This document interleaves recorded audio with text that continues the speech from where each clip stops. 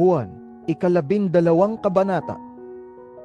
Anim na araw bago sumapit ang pista ng Paskwa, si Jesus ay nagpunta sa Betanya, kung saan nakatira si Lazaro na kanyang muling binuhay. Isang hapunan ang inihanda roon para sa kanya. Si Lazaro ay isa sa mga kasalo ni Jesus, samantalang si Marta naman ay tumutulong sa paglilingkod sa kanila. Kumuha naman si Maria ng isang bote ng mamahaling pabangong galing sa katas ng dalisay na nardo at ibinuhos sa mga paa ni Jesus. Pagkatapos, pinunasan niya ang mga ito ng kanyang buhok at napuno ang buong bahay ng halimuyak ng pabango. Ito'y pinuna ni Judas Iscariote, ang alagad na magkakanulo sa kanya. Sinabi niya, Bakit hindi na lamang ipinagbili ang pabango at ibinigay sa mga dukha ang pinagbilhan?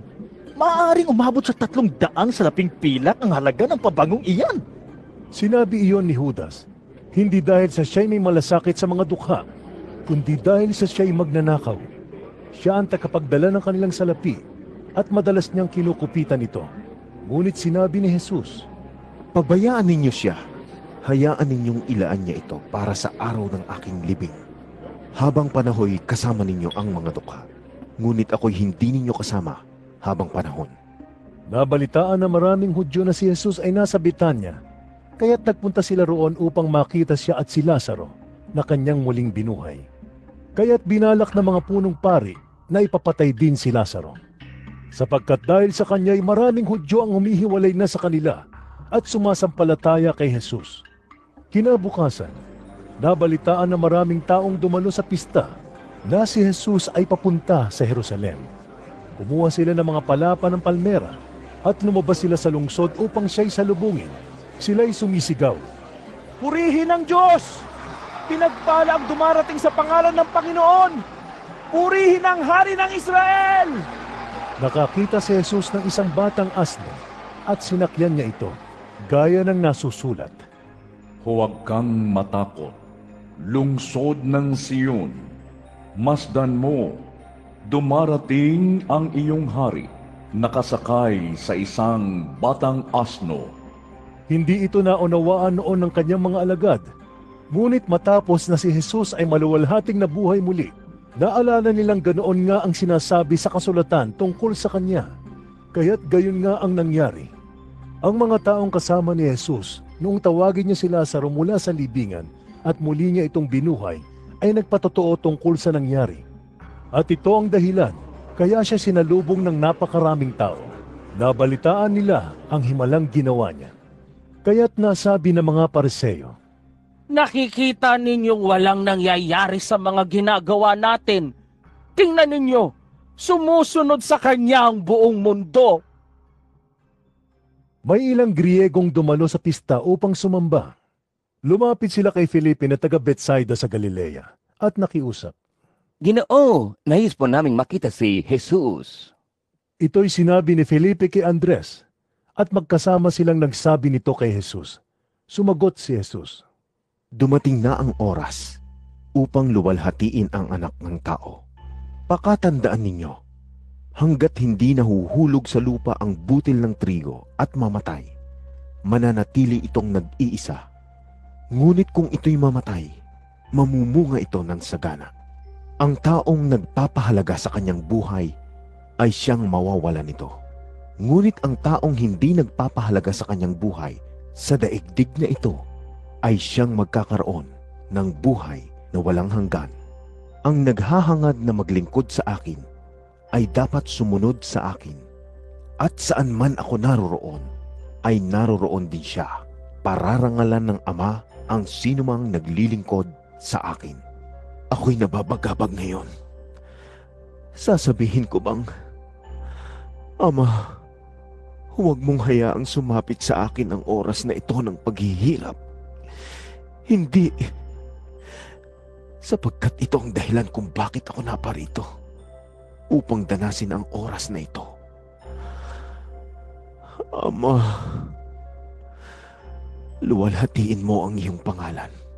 Isang tinig mula sa langit ang nagsabi, Niluwalhati ko na ito, at muli kong luluwalhatiin. Narinig iyon ng mga taong naroon, kaya't sinabi nila, Kumulog! Sabi naman ng iba, Nagsalita sa kanya ang isang anghel. Sinabi sa kanila ni Jesus, Ang tinig na iyon ay ipinarinig para sa inyo at hindi para sa akin. Panahon na upang hatulan ang mundong ito. Panahon na rin upang hatulan ang pinuno ng mundong ito. At kung ako'y maitaas na, ilalapit ko sa aking sarili ang lahat ng tao. Sinabi niya ito upang ipahiwatig kung paano siya mamamatay. Sinagot siya ng mga tao. Sinasabi sa amin ng kautusan na ang Kristo ay mananatili magpakailanman. Bakit mo sinasabing dapat maitaas ang anak ng tao? Sino ba ang anak ng taong ito? Sinabi ni Jesus sa kanila, Kaunting panahon na lamang ninyong makakasama ang ilaw. Lumakad kayo habang kasama pa ninyo ang ilaw upang hindi kayo abutan ng dilim. Hindi alam ng lumalakad sa dilim kung saan siya pupunta. Sumampalataya kayo sa ilaw habang kasama pa ninyo ang ilaw upang kayo'y maging mga anak ng liwanag. Pagkasabi nito, si Jesus ay umalis doon at hindi na muling nagpakita sa kanila. Kahit na nasaksihan nila ang maraming himalang ginawa niya, hindi pa rin sila naniwala sa kanya. Nangyari ito upang matupad ang sinabi ni Propeta Isayas. Panginoon, sino ang naniwala sa aming ibinalita? Kanino ipinakita ng Panginoon ang kanyang kapangyarihan?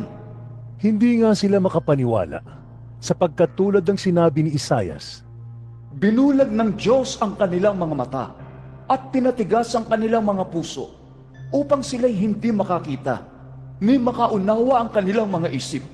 Baka pa sila'y manumbalik sa akin at sila'y pagalingin ko.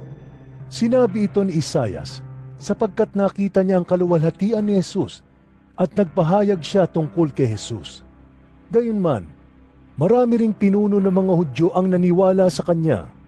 Subalit hindi nila maipahayag ito dahil sa takot sa mga pariseyo na baka sila'y itiwalag sa sinagoga. Mas ginusto nilang parangalan sila ng tao kaysa parangalan ng Diyos. Malakas na sinabi ni Jesus. Ang nananalig sa akin ay hindi lamang sa akin nananalig, kundi pati sa nagsugo sa akin. At ang nakakita sa akin ay nakakita na rin sa nagsugo sa akin. Ako'y naparito bilang ilaw ng sanlibutan upang ang manalig sa akin ay huwag manatili sa kadiliman. Hindi ako ang humahatol sa taong dumirinig ng aking salita, ngunit ayaw namang sumunod dito sapagkat hindi ako naparito upang hatulan ang sanlibutan, kundi upang iligtas ito. May ibang hahatol sa mga ayaw tumanggap sa akin at sa aking mga salita. Ang salitang ipinahayag ko ang hahatol sa kanila sa huling araw. Sapagkat hindi ako nagsalita ng mula sa sarili ko lamang. Ang Ama na nagsugo sa akin ang siyang nag-utos kung ano ang aking sasabihin at ipahahayag. At alam kong ang kanyang utos ay nagbibigay ng buhay na walang hanggan. Kaya't ang ipinapasabi ng Ama ang siya kong ipinapahayag.